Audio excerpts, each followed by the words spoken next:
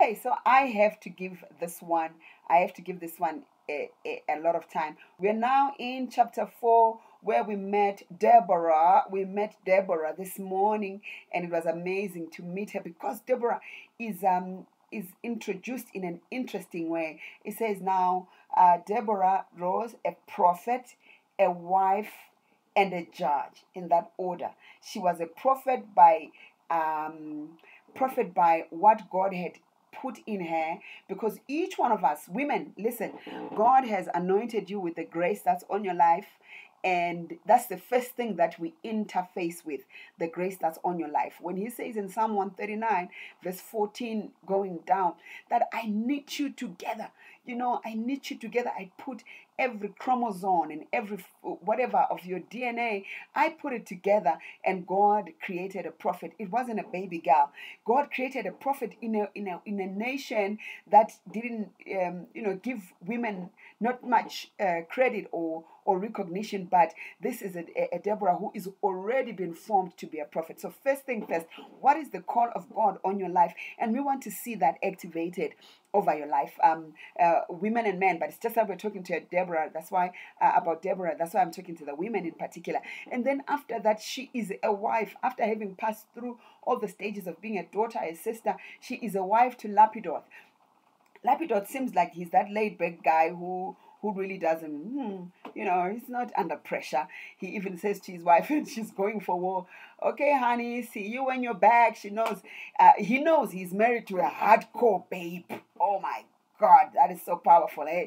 Hardcore. To all the men who are married to Deborahs out there, Deborahs out there, De- Deborah, Deborah, Deborah out there, please make sure that you take care of her. And when you stay at home and she's going to win battles, remain praying, okay? Because the Bible doesn't tell us what Lapidoth remained doing. And I'm sure he remained with the family and he, he was a good man. He was a good man to release his wife to become everything that um, she is supposed to be. So, pom pom to all the men's, to the men out there, to all the men's. Oh God, well, my my mouth is like this morning but uh, God is good all the same.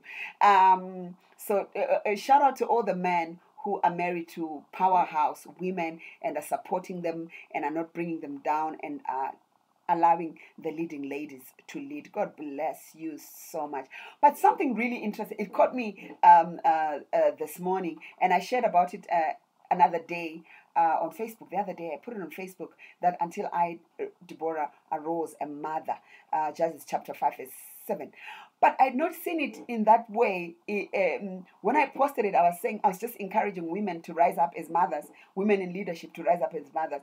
But I'm, I'm so interested in that um, Deborah himself or intrigued rather, not even interested, intrigued by the fact that Deborah says, Okay, I know I'm a prophet, I know I'm a wife, I know I'm a judge, that's okay, but I choose to identify with the title of being mother.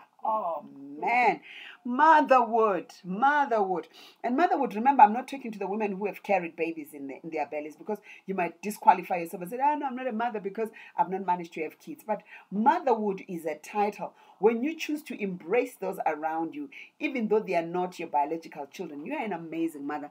There's a friend of mine uh, who who who mothered these kids um, from her husband. You know, she couldn't have her own, but she made such impact. She is a mom. She is an amazing mom. And uh, I want to celebrate all those moms who are moms and have not had their own biological children. God bless you and He increase you. Now, not only that, since I'm talking about the girls, I want to talk about Jael in the next video.